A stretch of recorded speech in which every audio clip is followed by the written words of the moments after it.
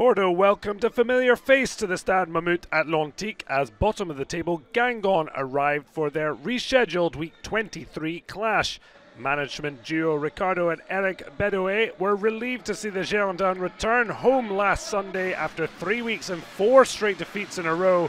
Jimmy Briand lifted some of the gloom with a late winner to beat Toulouse three days ago. The former Guingamp star absent after upsetting the Bretons by breaking a promise not to sign for another French club.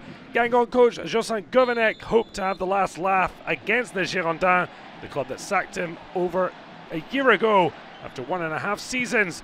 Bordeaux, though, could have made it four home wins on the bounce in all competitions. Yann Karamoh wasteful on his return to the starting 11 after being left out of the last two fixtures due to disciplinary issues.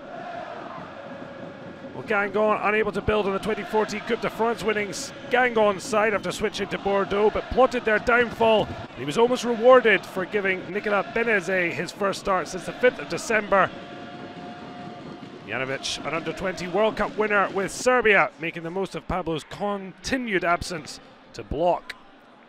Well, it was not a fixture that caught the Girondin fans' imagination as the grey seats around the Matmut were too far evident, and Josef Plasil couldn't lighten the mood of those out on Wednesday night for the rearranged fixture.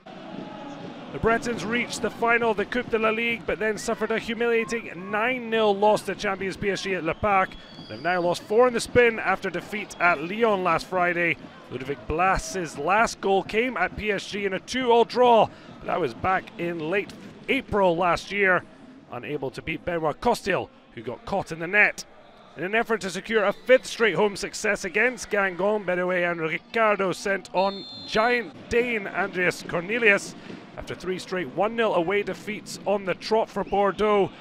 But despite the weekend success over Toulouse, they were struggling for fluency against the league's bottom side, and it was Guingamp who could have led early in the second half, only for them to be denied by a smart save and an incredible miss.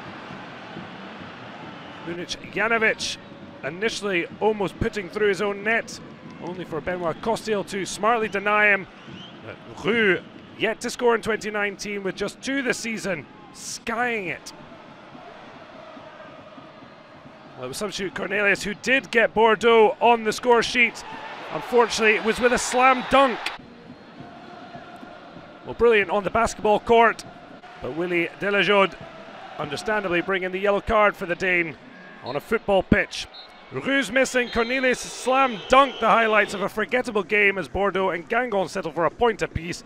Girondins remain in mid-table, but Guingamp are five points from the playoff spot and a further one from safety.